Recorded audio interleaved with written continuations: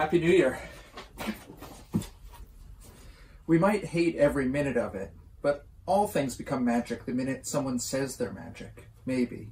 I love New York because it treats us all as enemies with benefits, but more likely because my many almost final moments happened here, especially that one time I got my arterial empties refilled with four liters from the five boroughs. Bad odds are the best ones to beat. A body is the thing that's interrogated by a timer on one side and sheer light on the other. So how do you half broken go without breaking in half? You have to know a secret to give it up. I never knew the partisans who sold their blood, only that their lack of other options is part of me forever, from the days before you checked for novel viruses or anything beyond a red velvet color and an arm to draw it from. Nobody's going to trick me with this go to the light nonsense when the light could change with me halfway across the very busy street. Choosing how to die is what we're very good at not confronting during the weekday crosswalk two step, and when faltering falters, there's the even more questionable live action role play of maybe a May, November, August threesome, or any grail in comparison to the punchline of our own cellular riddle until the jacked up lockdown won't accept a joke for the secret that was here before we were. But here we are, aren't we? Reaching for something that exists only because we reach for it, like my father's sculpture on a high shelf since he died, but which just now fell on the machine I'm using to write this poem. It was probably my upstairs neighbor shaking the ceiling with some online aerobics, though not long ago her grandmother's crystal pitcher did the same to her, as if to say, You might not know the secret, but the secret knows you. We might hate every minute of it, yet we want our magical nights to sashay unstoppable through the ever changing light. We were facing the sun, but the sun turned away and left us to answer, How can I find myself in your eyes and be okay with what I see there. It doesn't take long for the gun nuts to Wagner the capital of what we want to think of as home, despite the leftover parts found after building it. Maybe throw out the instructions wasn't the most okay step one to put in the instructions, even if being okay isn't the point, or hoping the dirty side of the storm scours the dour neighbors outside the window we are powerless to do anything beyond look through. I get lost in your eyes as though they were a city unseen since I was little and a little lost even then. Maybe it's not too late to learn to love the virus, being just new guidance for cells to find their own relief, as only the death of all prior threats can provide. Your eyes have it, and mine too, in the bug zapper outcomes coming out to play, eyes bigger than the eclipsed moon's number one penumbra, tumbling no less blindly into the light as the dark. Like someone full of batteries and marbles they ought not to have swallowed, or maybe more like the city whose density made life less regretful, but which also composed its essay to humanity that began, We are sorry for your loss, or an economy that resists reopening because it's only ever been a chasm we participate in by screaming as we fall. The solution was inside us all along, and remaining inside was the solution. You and I have so much in common with the virus that only wants to live, but which is so much better at it than we are. I always hoped someone would save me until I realized there is no me to save, or love, or even listen to, except in making this that levels the self and levels up what's left. Thanks, and Happy New Year.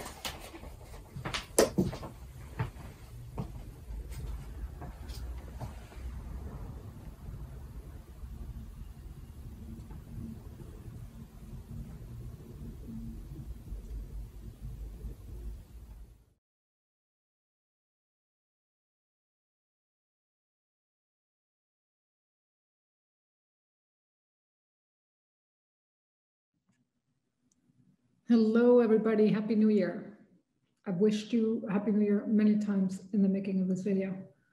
And I just hope all my good wishes for you are multiplied many times over.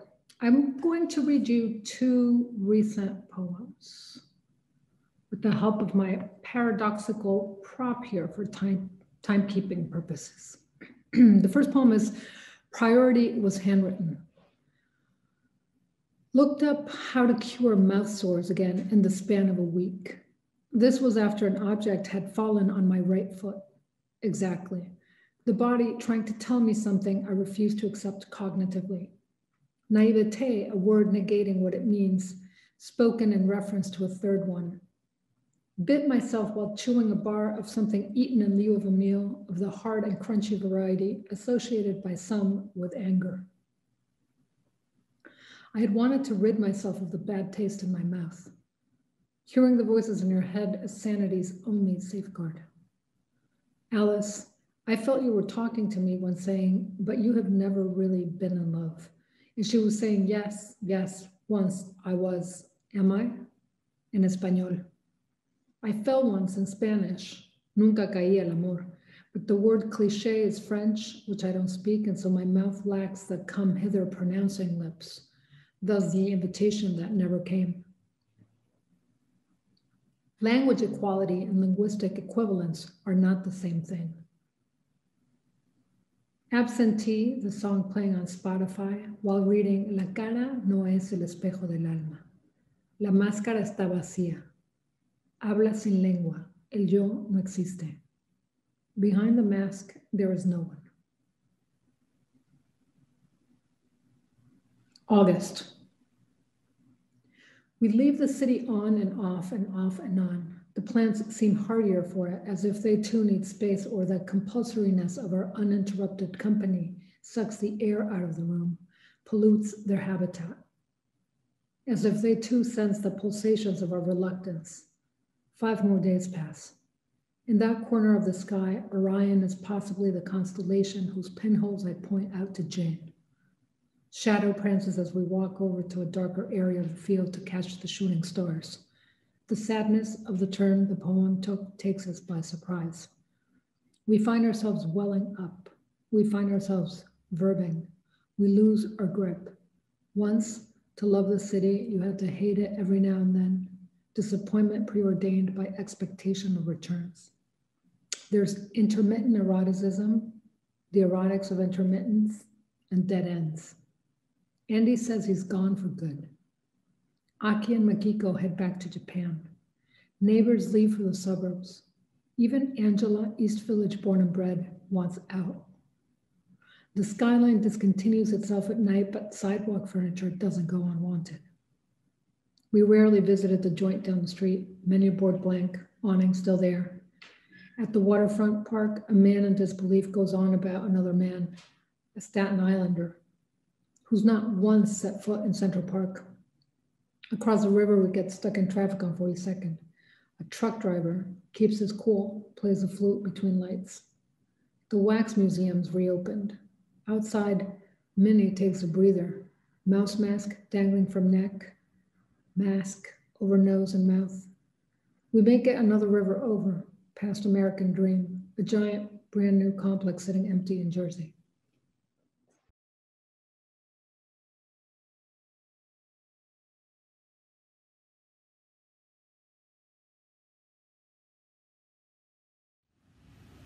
Blessings for the new year and for the planet. Lost title last night. Stumble upon broken ground cat. Afoot, planets pulse with light southern sky. Air is a wet curtain.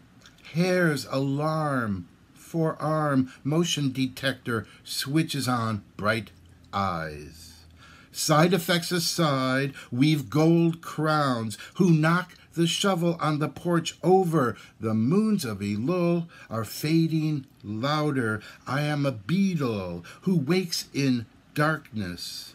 Blessings are turning orange on maples following their mad flight among winds, litter your days to fodder approving sons, pieces and pieces, attorneys pro bono, so relief for sorrows, fraying connections, touching virtual spotlessness complete.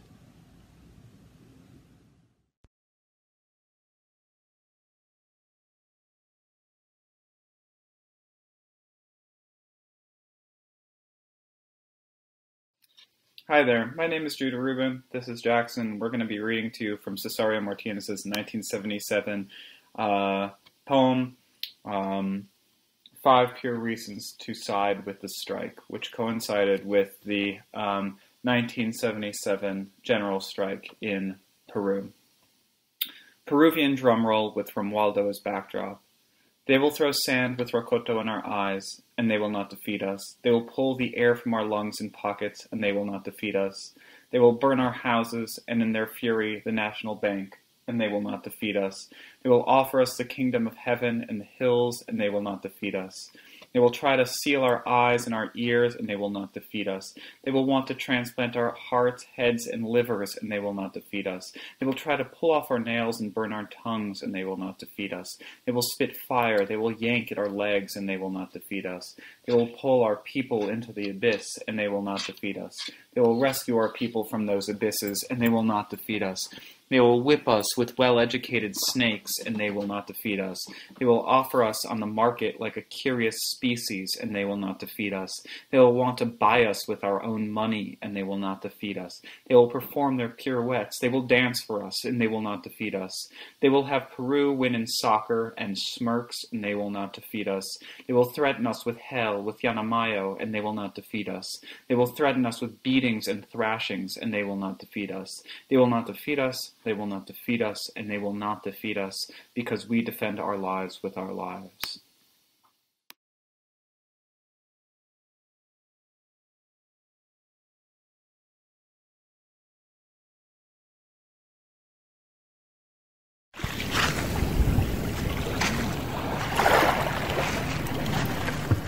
I would like to say, I would like to say, I don't know the road to paradise that my tongue, the people, and that man sitting contemplating the railway lines in a deep meditation nobody will ever know existed.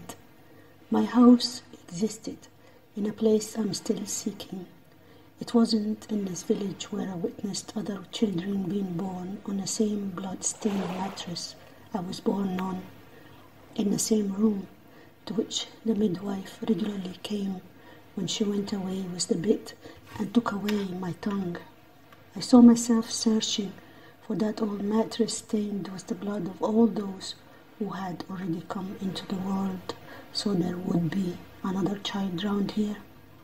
I saw myself not looking for a house, but making a search for a house my way. So much blood dried like rust as each cut of the scalpel breached my skin, each cut of the scalpel piercing me as I lay dead and anesthetized. I would have loved the time of the anesthesia to lead me to the day you are no more, a day you can calculate for $50 on a net. I would like to say, I write about what I lost, about my vanished blood, about my laughter frozen into a mask, about this young girl who was chased away because she sighed next to the wheat dunes that stuffed the young girl's mouth with secrets about this girl who was and is no more, about another one I saw spinning under the ceiling of the empty living room, her dress on fire. She calls to her master to save her and standing naked in front of all those men. I say, I want neither father nor mother, nor to have them put on my road or slipped into my story. Without them, I remain and in spite of them all, I am. I don't know the road to paradise. I didn't save you from hell. Sharia, that void didn't strike me. I will not go to the one who has gone and will inevitably return. I wrote lines, licked the drops from the face. I said, She is one of those whose past bears the present. She dashed along the wide avenue trying to cross. Like me, you also are a traveler. Without coyness, you come bearing that light, or is it this mist that kills us? Shoot, kill, harsh dark bird, fall to earth on your feathers, that a wind blowing from the Sahara scatters, sand dunes, purple light, that you cross from where you are not. This Sahara, our home, there, two poles, the coming will not come, visiting rather. He is your guest, Suddenly shy when he sets food, vanishes, enchanted. To where your awakening is, you, the sublime Magus, Amon, tell me where you keep your remains, where I can find what leads me to them. You, the thing, the non being, when they appeared, fire had covered the light. I write on your whereabouts to meditate on you, to envision, imagine your shadow, you sublime creature. Be a little that I may see you that I may say you.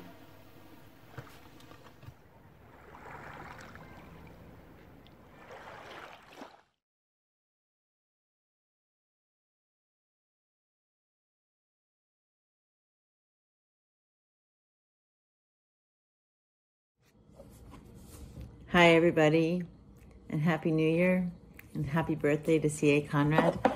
This is my favorite event of the year. And I want to thank Laura and Nicole and Kyle and everybody at the Poetry Project for keeping the flame alive so brilliantly, so creatively, so ethically. I'm going to read to you from one of my favorite books that came out this year from a new, um, a first book, first chapbook from a poet named M. Ryan Murphy. Um, and I also happened to write the blurb for the book. But as I was reading the book for the blurb, I was sort of blown away. And it um, it's a book that I want to get attention, and it comes out of a small, small press called Damaged Goods Press. And I don't know uh, how they're doing or what they're doing in COVID. So many people are suffering, and so please look for this book. It's called Void of Pronouns by M. Ryan Murphy. Such a brilliant, important, important book um, for all people who think about queerness and bodies and non-binary issues, but also about language and what how language can enter our experience. I'm going to read a tiny bit from my blurb, and then I'll read um, from the middle section called Body. I read M. Ryan Murphy's Void of Pronouns like I read philosophy making a space for each movement, each caressing and genderless sentence before physically, psychically agreeing to move on to the next, a slow and deep kind of reading, which is a kind of reading that is the kind I like, which also happens to be the kind of sex I like. A body. One, a body void of pronouns doesn't belong to the mirror. Day starts as child again. Mother's room. The mirror phase is double recognition. One of a body, one of distance. The new moon is there and not. A body is there but not. How to love the nothing. Strives to something. Two, learning to love a body void of pronouns is like convincing the mind to speak a new language. Takes patience and struggle, many blue days, cloudless or cloudy. This must be good. Deep ocean dwellers, seeing specks of light, leave the trench briefly. In this way, all time is speculation, exploration, and a body feels so heavy now.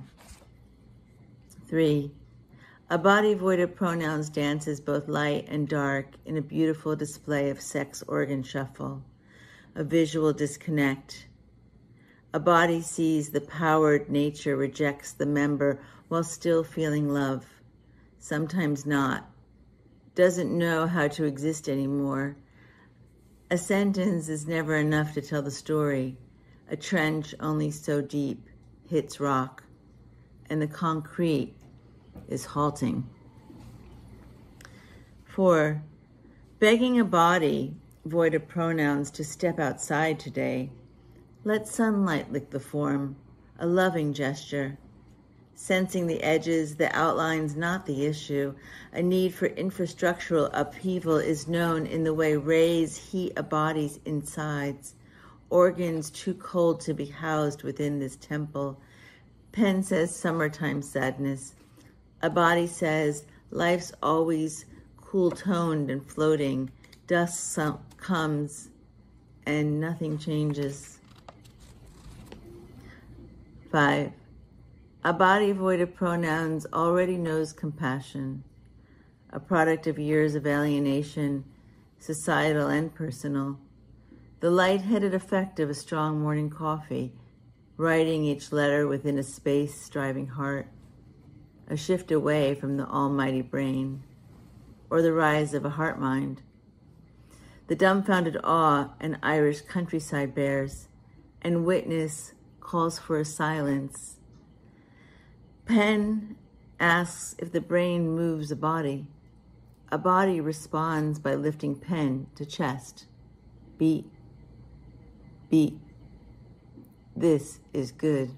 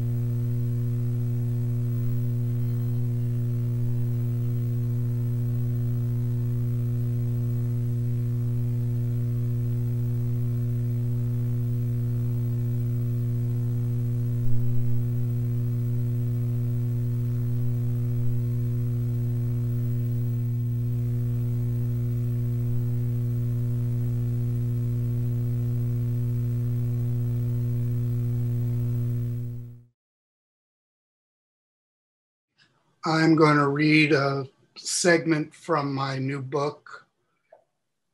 It wasn't supposed to be like this.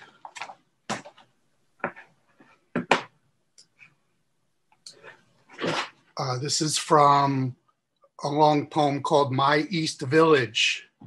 This is section eight, Utopia Redux. And now I come to Lewis Warsh and Bernadette Mayer who I met in Boulder, Colorado at Naropa University, where they were leading workshops June of 78. I blended into their household as if there were no barriers and would for the next several years be a regular presence amid the routine proceedings of the day, which in their system was nothing like ordinary.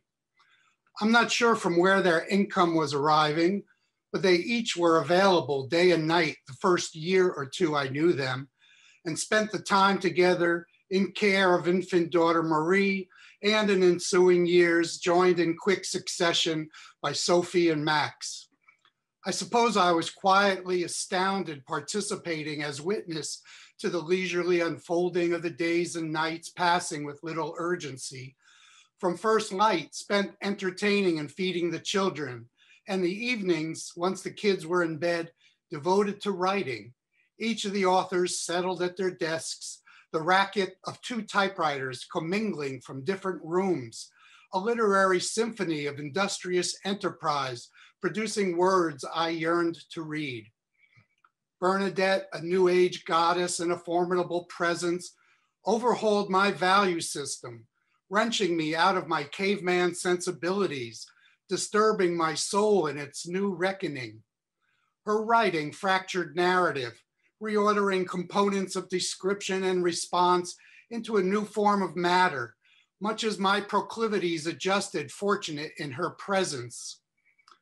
Lewis was the embodiment of Jean-Pierre Léaud, actor of the French New Wave, who was a role model for me in college years, illustrating how males could be tender and introspective.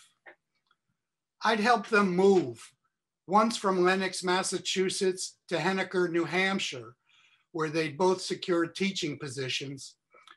One transfer resettled them for a summer at a house called Whispering Pines, which recalled for me perhaps the most heavenly of songs by the band, on Lake Buell in the Berkshires. And I drove a rental truck once again, this time to a spacious two bedroom apartment with French doors in the Ageloff Towers, standing stately between East 3rd and East 4th on Avenue A, where many spaghetti dinners would take place with more than a few jugs of red wine consumed in the ensuing years as Bernadette took over the position of artistic director of the Poetry Project, where I was already administrative assistant along with Gary Lenhart, and Bob Holman became the program coordinator. In the summer of 81, I invited the Warsh Mayer family, which now included three kids, to join me for a month long house sitting gig in rural Connecticut. Perhaps the most bucolic and pleasant month of my earth time, luxuriating with my adopted family away from the grim conclusion of the city, transplanted to a setting with a strawberry field down the road, a horse in a stable in the yard, and a lake to bring the children to in the hot afternoons. See at Maureen's. Between prepping meals, keeping the children entertained, hosting a slew of visitors who'd arrived from the city, and writing at night, we read a lot of books we'd borrow from the library. I read everything Lewis told me to read. The locale in the quiet countryside, our comfort with each other, our being far from New York, whatever it was, the arrangement was conducive to an unperturbed yet focused engagement with piles of print matter, a paradise shielded from toxic interferences by good fortune and the Mayer Warsh no conflict is front page approach. Thank you. Thanks to Kyle and everybody at the Poe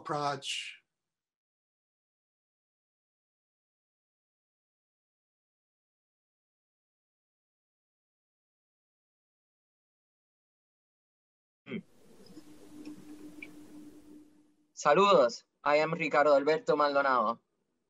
Hello, my name is Omotara James. We will be reading a diptych consisting of two poems, two sonnets. We wrote using images um, that came to us or images we sought out uh, in 2020 with uh, the idea of manifesting a kinder um, 2021. Ars Poetica with a bang and whimper. Only a Black mother will tell you with a straight face and stretched belly that she didn't want you to be a statistic. Math makes a poet of us all, made me homeland and diaspora, half ship and half sea. Love catches up to loss eventually, follows the arc of failure. What I am trying to say is mathematical.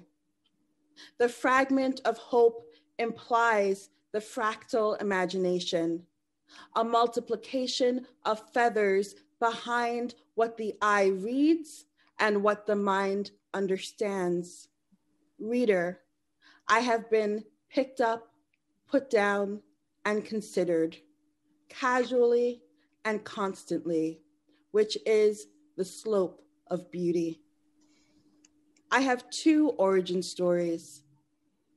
I don't know who I am. For every new flag, an old suffering. Let this fire consume as much as it wants. This ruin could be anything. No more barkwood, cane, or papyrus. I was not made to bear fruit, a sty in the eye of glory. I have two origin stories. I know who I am, born from an earlier God, play, praised for my natural geometry. My enemy bends me at the waist, minute barbed wire blossom. I do not know winter. Innocence survives everything. My only tree bears fruit. I was the original.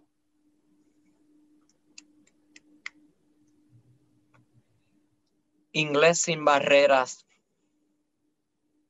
This is the America I carry in my belly. Doubt for the state, the blood after Selma. The Americans die. The flags were consumed by fire, the Americans dying. Satellites fall into minerals and silver. Flowers blossomed for a state engendered in laws by a slashed finger dipped in salt. The poem was a sketch of a precedent in life flesh. A body at seaside, the barren labyrinth of a mind, tying birds to the temple. The coastal shell settles a homeland and its diaspora and the footwear of the sea, so many bodies of unnamed flowers becoming a people prayer. The sea was the poetry of the people, the will of a god in barbed wire being freed. The dark belly incarnates nylon white. First activity, democracy. Which adjective is chosen now, being myself the electorate. Thank you for listening. Thank you.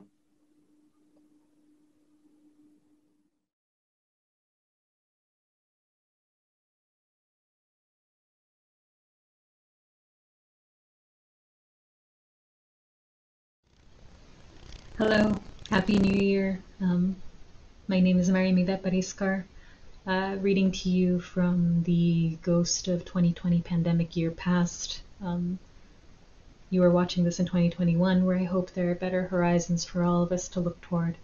Um, always, right? Uh, so I'm going to read a poem um, called Bayou Time, with a shout out to fellow Texan Monica Teresa Ortiz um, who created this space where this poem first began to come together. So Bayou Time. I miss its reservoir slowness, even after coming to know its man-made quality offset of a faster river, a holding zone for flood water. Sitting on the bridge, not doing anything but looking for the turtles you knew when you were just learning how to leave the cul-de-sac at the end of your block. Bayou time is slow time, like summer not empty of threat, still on the move we keep beside it. So much time thinking of being looked at I forgot to look. As though familiar even the bath waters flowed swamp-like, pooling foam, it slow flowed down the drain. Aspirations around the corner behind you, having wanted a decent life, how they learned to make peace with brutal settlements, becoming Roman, that is, Texan, Empire keeps the people who love you away from home, so they make home an empire waiting to find life in its intervals, trying to love you there. So occupied by its rhythm they forgot to do nothing, so busy meeting desires, not dreaming of one's own possession. Discards beside the road, once in a while a shopping cart stirs fear of water, what was done to its body still waiting to tuck away beside it, who makes home in this waste all the abandonments of production. Beside them I am naive again, picking stems of wildness to chew for a small pungence on the tongue, that little pleasure. More herons than I had ever seen in the city, while the city stays wounding. I miss it, the island of trees in the middle of the reservoir, full of grackles waiting, and for what? The end of human governance giving a shape to give names premised on time. Who named all this grief excess? Who named this collective sensation as void? They stay in the branches, put on their elegant iridescent airs of being unmastered. Thank you again, and Happy New Year to you and all of us.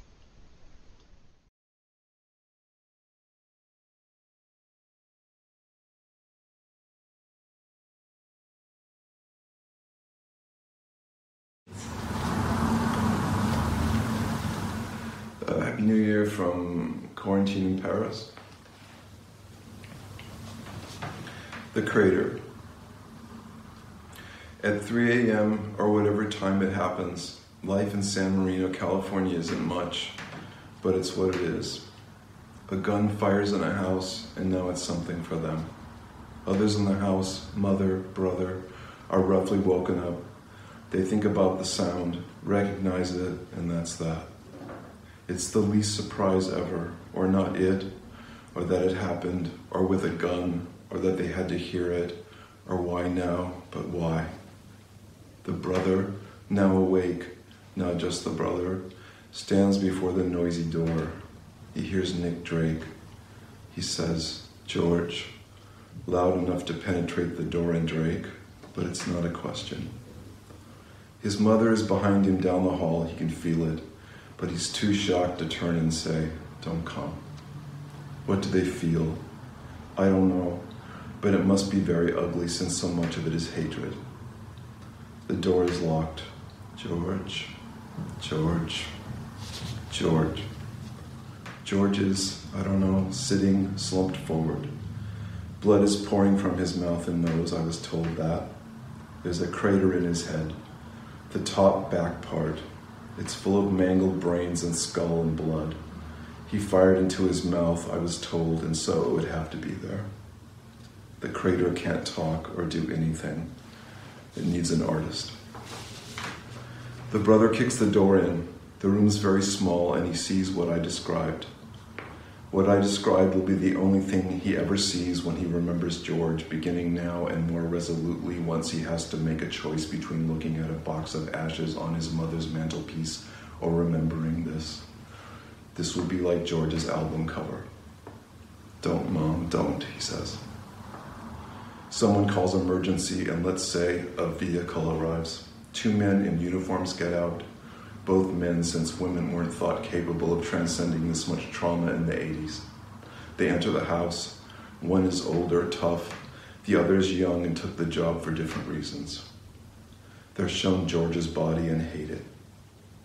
The young one, Joe, let's say, is the one who has to do things around the body, and the older one, named something else, who cares, is the one who has to go into the living room and ask the family questions and then use their phone to call in a report.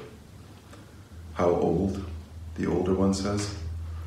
Thirty, George's mother says. It's his birthday. You can guess the rest. In two days, George will be ashes. He'll weigh 4.7 pounds. There'll be a funeral to which almost no one is invited the estranged father, stoners from the park that George had started hanging out with, people who'd been kids when George was and haven't seen him since. They won't invite me. They could call my mother's house and try to reach me, but they won't. Nick Drake won't be played. There'll be no obituary in the local paper. No one in the family will want to write it. They'll redo the rooms, sell the house, move. They won't tell the newer owners. They'll just erase an awful, sick, depressing man. Joe is in the room doing things he's assigned to do. He looks at the body from different angles, in detail, up close, at the bloody face, at the bloody floor, at the gun, at the hand it's resting on, always writing notes or checking boxes on a form clamped to a clipboard. He keeps looking at the crater. He can't help it. He has no feelings that he knows of, and the wound is fascinating to him, even though it's what it is and there's nothing to write down about it. Why are you so interested? asks the crater. The voice is male, like the body would have had, but not as hued as you would think a voice of someone who would do that self to himself to be. And the crater doesn't move in sync with it or even shiver like a woofer. Joe is startled, but he's always startled when something like that happens. Death is so unknown. I'm an artist, he says. I look at everything artistically. It's easier that way. I was an artist too, the crater says, or I tried to be. What kind, Joe asks. My body played guitar, the crater says. Joe goes back to doing what he's told to do. The crater has gone silent for a while, so maybe it has died. You there? Joe asks it. Thinking, the crater says. About what? Joe asks. A friend, the crater says. A good friend? Joe asks. Yes, but not good enough, the crater says. Thank you.